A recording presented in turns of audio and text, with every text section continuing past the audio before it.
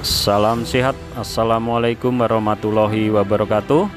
Kita saksikan perkembangan ibu kota Nusantara dan selamat menjalankan ibadah puasa di bulan Ramadan ini. Semoga diberi kelancaran dan selalu sehat. Kita saksikan gambaran ibu kota Nusantara. Inilah gambaran kalau sudah jadi kain Nusantara kita saksikan paling kanan adalah kantor presiden. Di depannya adalah istana negara.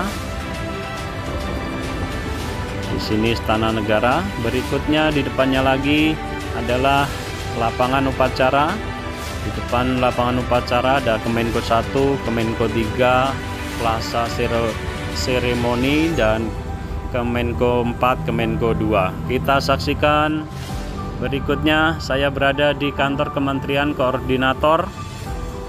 Di sini lokasi Kemenko 1. Beliau mengantar logistik di sana tadi adalah eh, lapangan upacara ke Istana Presiden. Seperti ini kondisi terbaru ibu kota Nusantara jika cerah debu-debu luar biasa di sini. Beliau mengantar logistik menuju sekretariat presiden. Luar biasa, semoga dilancarkan dalam membangun IKN Nusantara. Kita saksikan di beberapa titik membangun MUT dalam proses perakitan besi. Nanti kita saksikan juga arah lapangan upacara IKN Nusantara di sana adalah lapangan upacara saudaraku luar biasa terus dilakukan pengurukan pemadatan. Wow, selamat beraktivitas Bapak-bapak dan Ibu di Ibu Kota Nusantara semoga diberi beri kelancaran sehat selalu. Di sana bendera Sang Saka merah putih berkibar. Terlihat juga kren di sana kren tower dan truk-truk terus bergerak uh, menguruk area lapangan upacara ini. Vibrator terus bergerak memadatkan area ini. Kita saksikan kembali di sebelah depan lapangan upacara. Beliau menurunkan uh, material untuk tentunya untuk persiapan pengecoran di MUT. Di sana eksavator juga terus bergerak menurunkan papan untuk pengecoran dan di sinilah tempat MUT di depan kantor uh, di depan lapangan upacara dalam proses perakitan besi-besi di sini. Wow, mantap sekali, sangat lebar sekali papan-papan untuk pengecoran tentunya untuk tahanan uh, cor dalam proses pengangkutan dan perakitan tentunya di sini untuk MUT atau terowongan bawah tanah untuk uh, kabel listrik, pipa gas, kabel optik tentunya. Di sinilah proses pembangunan MUT di depannya eh, lapangan upacara prosesnya seperti ini saudaraku luar biasa. Kita saksikan ke area lapangan upacara. Di sana adalah lapangan upacara di belakangnya adalah istana negara. Terus dikerjakan di area ini tentunya. Luar biasa hanya doa yang bisa kita panjatkan untuk beliau-beliau yang bekerja di KN Nusantara Semoga selesai sesuai rencana. Mantap sekali. Masih terus bersemangat beliau-beliau yang bekerja di sini. Papan-papan untuk pengecoran tentunya disiapkan demi kelancaran pembuatan terowongan bawah tanah MUT.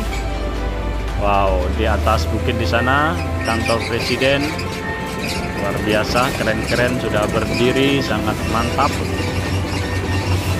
Kita saksikan kembali papan-papan untuk pengecoran di area MUT di samping Kemenko 1 atau depannya lapangan upacara ini. Habib Raya terlihat alat beratnya luar biasa Habib Raya mendapat kontrak juga di KN Nusantara. Ada beberapa tol IKN juga Habib Raya mendapatkan uh, kontrak. Seperti inilah proses MUT saudaraku. Besi-besi sudah dirakit untuk persiapan pengecoran. Wow mantap sekali. Ada uh, tentunya genset di sini untuk pengelasan dan lain sebagainya.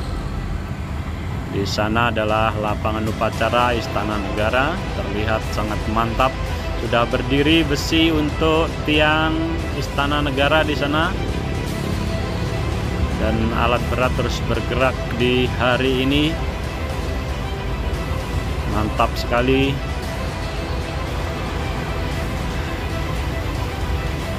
Seperti inilah progres IKN Nusantara. Dan dalam waktu dekat beliau Bapak Presiden Jokowi berencana berkunjung ke IKN kembali membawa investor menurut informasi terakhir. Semoga dilancarkan dalam membangun IKN Nusantara. Dan di tahun 2024 rencana beliau Bapak Presiden Jokowi akan berupacara hari ulang tahun kemerdekaan Republik Indonesia tentunya di lapangan upacara IKN Nusantara dan di sinilah posisi MUT akan terus dikerjakan di depan lapangan upacara ini atau di samping Kemenko 1 ada beberapa kementerian tentunya di sini. Dan di sini tempat Kemenko 1 dan kementerian lainnya tentunya dalam proses persiapan untuk membuat gedung tentunya di sini ada beberapa borpel ada kren di area ini. Kita saksikan di area lapangan upacara kembali. Luar biasa pergerakan dam truk dan alat berat di sana. Mantap di hari ini. Terus dikerjakan area MUT atau terowongan bawah tanah. Semoga dilancarkan disehatkan semua yang terlibat di pembangunan IKN Ibu Kota Nusantara tentunya. Area ini jalan lama dan beliau-beliau persiapan untuk beraktivitas di hari ini. Wow mantap. Sukses selalu beliau-beliau yang bekerja. Di sana adalah lapangan upacara kita saksikan dari udara seperti ini di Kemenko 1 rencana pembangunannya. Area inilah sebelah kiri lapangan upacara. Ini adalah jalan lama. Dan saya akhiri informasi kabar dari KN Nusantara saudaraku. Terima kasih. Wassalamualaikum warahmatullahi wabarakatuh